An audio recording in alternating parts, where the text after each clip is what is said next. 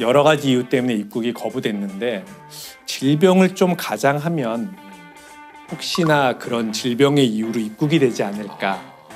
하는 꾀병. 네, 꽤 있습니다. 아 있어요. 네, 갑자기 의식을 잃고 쓰러집니다. 일반인들이 보면은 정말로 의식을 잃은 건지 어, 의식을 모르죠. 잃은 척하는지 구분할 방법이 없지 않습니까? 우리 몸에는 어, 우리가 아무리 훈련을 해도 조절되지 않는 음. 부위가 있습니다. 그 중에 가장 중요한 부위가 동공입니다. 아, 동공의 반응을 체크하는 근데 어렵지 않습니다. 그냥 눈을 어, 부드럽게 열고서 가만히 지켜봅니다. 네, 그럼요.